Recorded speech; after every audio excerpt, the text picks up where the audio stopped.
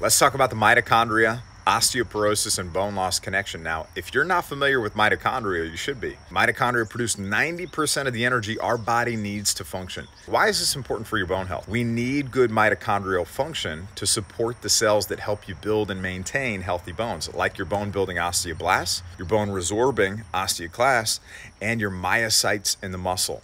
If we've got dysfunction in the mitochondria, that's going to impair the formation of bone. It's going to increase your bone breakdown and accelerate your bone loss. And here's why. Part of the reason for this is because when we have compromised energy metabolism, that's going to contribute to age related stem cell dysfunction in bone. The other reason for this is that the accumulation of dysfunctional mitochondria, so if we aren't constantly cleaning out these damaged mitochondria through a process called mitophagy, then we'll have a hard time ensuring healthy proliferation, differentiation, and function of those osteoblast and osteoclast bone cells. I'm your bone coach, Kevin Ellis. I'll see you soon.